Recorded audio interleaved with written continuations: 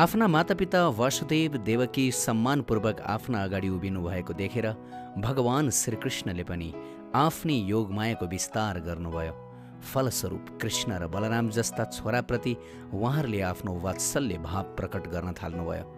जसरी भौतिक जगतमा विभिन्न जीवहरूका बीचमा मातापिताको सम्बन्धलाई मायाको प्रभावद्वारा स्थापित गर्न सकिन्छ त्यसै गरी योग मायाको प्रभावले गर्दा भक्तले पनि भगवानलाई आफ्नै छोरा ठान्न सक्दछन्। योग मायाद्वारा आफ्नो प्रभाव सृजना गरिसकेपछि सातवत वंशको प्रभाव व्यक्त गर्दै श्रीकृष्णले पनि आफ्ना दाजु बलरामसहित आफ्ना बाबा आमा समक्ष उभिएर भन्नुभयो बुबा आमाले सधैँभरि हाम्रै जीवनको सुरक्षामा आफूलाई समर्पित गरेर पनि बालक वा शिशुको रूपमा हामीलाई काखमा खेलाउने आनन्द पाउन सक्नु भएन।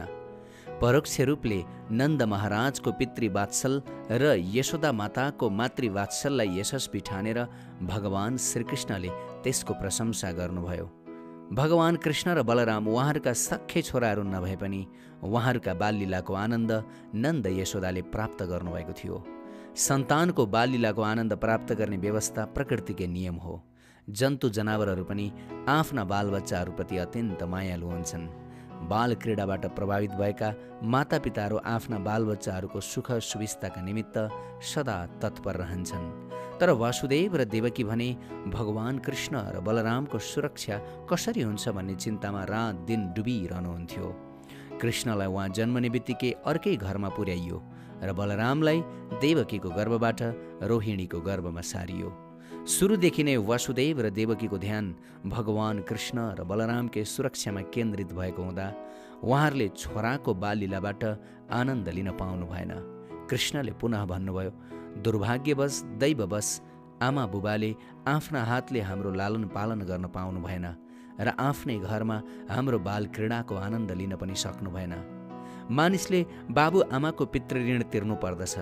किनभने जसबाट यो भौतिक जगतका सबै सुविधाहरू प्राप्त गरियो उहाँको ऋण त अवश्य नै तिर्नुपर्छ नि। उनै आमा बुबाको ऋण पितृ ऋण सन्तानमाथि रहेको हुन्छ। मानव योनिमा जन्म लिएपछि मात्र वेदले निर्देश गरे अनुसारका विभिन्न धार्मिक अनुष्ठान पुरा गर्न सकिन्छ। यही मानव जीवन पाएर हामीले आफ्ना सम्पूर्ण प्रकारका कामनाहरू पनि पूर्ण गर्न सक्छौँ र सबै प्रकारका सम्पत्ति पनि प्राप्त गर्न सक्छौँ। अनि यही मानव शरीरबाट मात्रै हामीले भौतिक जीवनदेखि मुक्ति वा मोक्ष प्राप्त गर्न सक्दछौँ। मातापिताको सम्मिलित प्रयासबाटै यो शरीर उत्पन्न हुन्छ।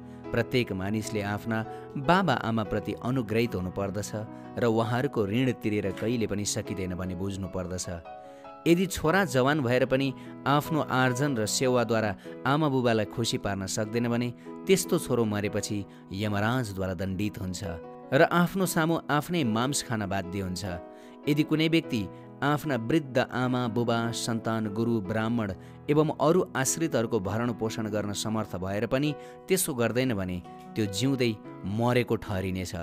बुबा आमाले रात दिन हाम्रो सुरक्षाको चिन्ता गर्नुभयो तर दुर्भाग्यवश हामीले अहिलेसम्म तपाईँहरूको सेवा गर्न सकेनौँ। अहिलेसम्म हामीले समय मात्रै नष्ट गरेका रहेछौँ। हामीले हाम्रो नियन्त्रणभन्दा बाहिरका कतिपय कारणहरूले गर्दा तपाईँहरूको सेवा गर्न नपाएका हौँ। कृपा गरेर हाम्रो पापका लागि हामीलाई क्षमा गर्नुहोला।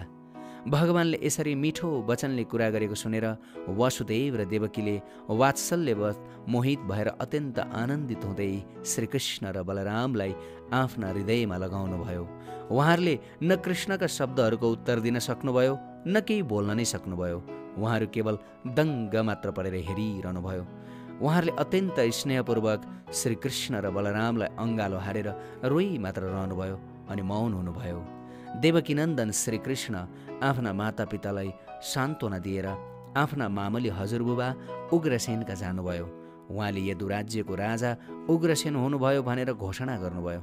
कंशले बलपूर्वक आफ्ना पिता उग्रसेनलाई बन्दी बनाएर यदुराजको शासन चलाउँदै आएको थियो। अब कंशको मृत्यु भएपछि कंशका पितालाई कारागारबाट मुक्त पारियो र उहाँलाई यदु राज्यको राजा घोषित गरियो। त्यस समय के देखिन्छ भने पश्चिम भारतमा धेरै लघु राज्यहरू थिए र ती सबै यदु वंशद्वारा शासित थिए। तिनीहरू अधिकांश वृष्णि वंश र भोज वंशका थिए। महाराज उग्रसेन भोज वंशका हुनुहुन्थ्यो। भगवान कृष्णले पनि परोक्ष रूपमा भोज वंशका राजा नै अरू ससाना राजाहरूका सम्राट हुने कुराको घोषणा गर्नुभयो। उहाँले आफ्नै स्वेच्छाले कृष्ण र बलरामलाई पनि आफ्नो प्रजाको रूपमा पालना गर्ने अधिकार उग्रसेनलाई प्रदान गर्नुभयो। प्रजा शब्द सन्तान तथा नागरिक दुवै अर्थमा प्रयोग हुन्छ। भगवान श्रीकृष्ण उग्रसेनका नातिका रूपमा पनि यदुवंशीका रूपमा पनि प्रजा नै हुनुहुन्थ्यो। त्यसैले उहाँले स्वेच्छाले उग्रसेनको शासन स्वीकार गर्नुभएको थियो। श्रीकृष्णले सम्झाउँदै भन्नुभयो ययातिको श्राप पर्नाले यदुवंशीहरू राज सिंहासनमा बस्न पाउँदैनन्। अत तपाईँको सेवकका रूपमा तपाईँको सेवा गर्नु हाम्रो सौभाग्य हुनेछ। हामीले दिएको पूर्ण सहयोगले गर्दा अन्य राजाहरूले पनि राज्य कर दिन गाह्रो मान्ने छैनन्। आजको यस कृष्ण कथा प्रसङ्गमा भगवान श्रीकृष्णले आफ्ना मातापिता देवकी र वासुदेव समक्ष एउटा संसारी पुत्रले जस्तै व्यवहार गरिरहनु भएको छ त्यसै गरी बोलिरहनु भएको छ। तर वास्तवमा श्रीकृष्ण भगवान परिपूर्णतम भगवान परमेश्वर हुनुहुन्छ।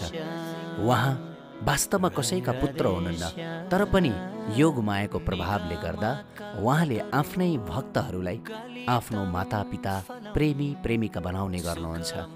र योग मायाकै प्रभावमा उहाँले यस्तो अद्भुत लीला गर्ने गर्नुहुन्छ जसमा उहाँका भक्तहरूले योग मायाको प्रभावमा परेर श्रीकृष्णलाई आफ्ना पुत्र आफ्ना प्रेमी अथवा आफ्ना साथीको रूपमा मान्ने गर्दछन् र यसबाट श्रीकृष्ण लीलामा झन् रसमाथि रस थपिन्छ। यो हो श्रीकृष्ण लीलाको अद्भुतता।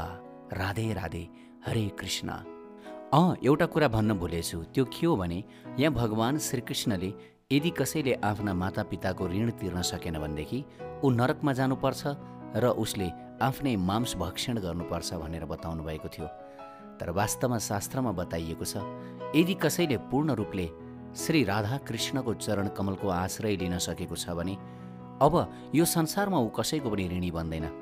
न ऊ आफ्ना पितृ मातापिताको ऋणी बन्दछ न ऊ धरती माताको ऋणी बन्दछ न ऊ कुनै ऋषिमुनिको ऋणी बन्दछ न ऊ कुनै प्राणी समाजको ऋणी बन्दछ न कुनै देवताहरूको नै ऋणी बन्दछ। ऊ सम्पूर्ण किसिमको ऋणबाट मुक्त हुन्छ र यो भवसागरबाट मुक्त भएर राधा कृष्णको दिव्य धाममा जान्छ। राधे राधे राधे राधे